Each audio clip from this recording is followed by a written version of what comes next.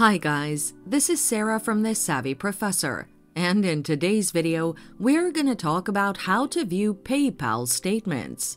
Stay tuned until the end to gain a comprehensive insight into the topic. Let's get right into it.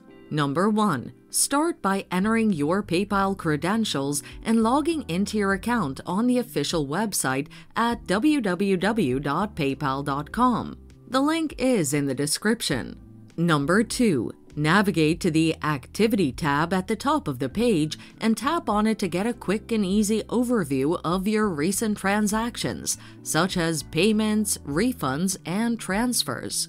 Number 3. Click on a transaction to view additional details about it or filter your activity by date, type, status, or a keyword. Number 4. After you've reviewed the activity on your PayPal account, you can download a monthly tax document or a custom statement by tapping the download icon on the right side of the screen.